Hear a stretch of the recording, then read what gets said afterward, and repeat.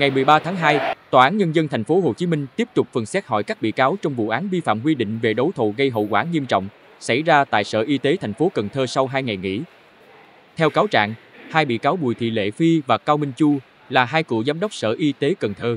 Bị cáo Hoàng Thị Thúy Nga, chủ tịch hội đồng sáng lập công ty NSG Group cùng 17 đồng phạm bị đưa ra xét xử về tội vi phạm quy định về đấu thầu gây hậu quả nghiêm trọng theo khoản 2 điều 222 Bộ luật hình sự, gây thiệt hại gần 33 tỷ đồng.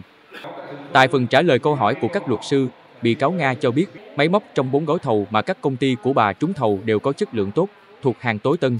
Luật sư của bà Nga trình cho hội đồng xét xử một tập gồm hơn 30 bằng khen, giấy khen của bà Nga, của NSG Group. Bà Nga cho biết rất sợ đấu thầu, chỉ muốn là nhà phân phối nhưng với các gói thầu này đã trực tiếp thực hiện dẫn đến vi phạm pháp luật, cảm thấy ăn năn. Bà hy vọng những đóng góp của cá nhân của mình và cán bộ nhân viên công ty sẽ được Viện Kiểm sát, Hội đồng xét xử xem xét, giảm án. Đại diện NSG Group cho biết sẵn sàng bồi thường các thiệt hại đã xảy ra.